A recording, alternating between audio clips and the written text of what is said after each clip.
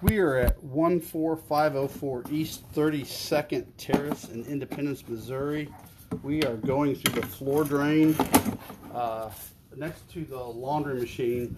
The plumbing stack in the garage uh, has a cap in it, that, but it is seized in there. So uh, we're going through the, the floor drain here.